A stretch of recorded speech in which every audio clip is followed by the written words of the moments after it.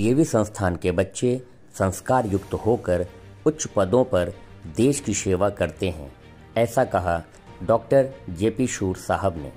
International Book of Records द्वारा inspiring human being award से सम्मानित डीएवी कॉलेज मैनेजिंग कमेटी नई दिल्ली के director P S one R वीर, doctor J P Shoor का आगमन Geeta Devi DAV public school Bhandarkola में हुआ।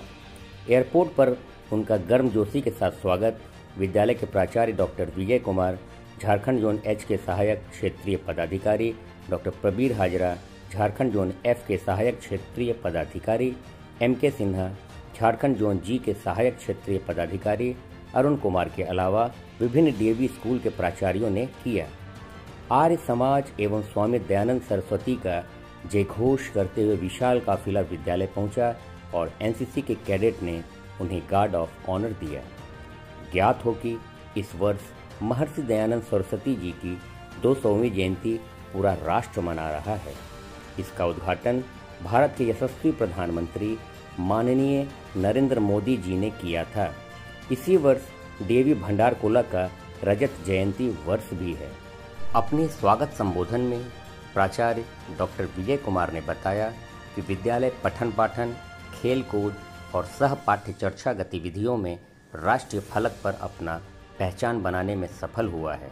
डीएवी के प्रधान आर्य रत्न पद्मश्री डॉक्टर पूनम सूरी, जो कि जालंधर यूनिवर्सिटी के कुलाधिपति भी हैं, उनके नेतृत्व में हज़ारों DAV public school DAV college DAV university DAV pharmacy college जैसे संस्थान चल रहे हैं और इनके सफल निर्देशन में डीएवी हिंदुस्तान ही नहीं, पूरे विश्व में अपना परचम लहरा रहा है।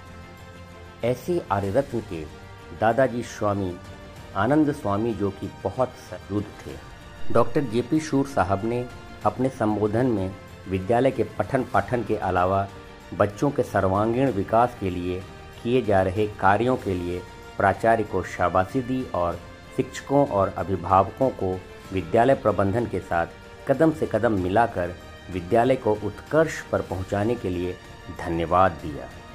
उन्होंने कहा कि शिक्षकों ने अपनी कड़ी मेहनत से दयानंद सरस्वती के द्वारा चलाए गए अभियान को चरमोत्कर्ष पर पहुंचाकर पूरे विश्व में डीएवी की शिक्षा पद्धति की उत्कृष्टता को स्थापित किया है। उन्होंने कहा कि संस्कार युक्त डॉक्टर, इंजीनियर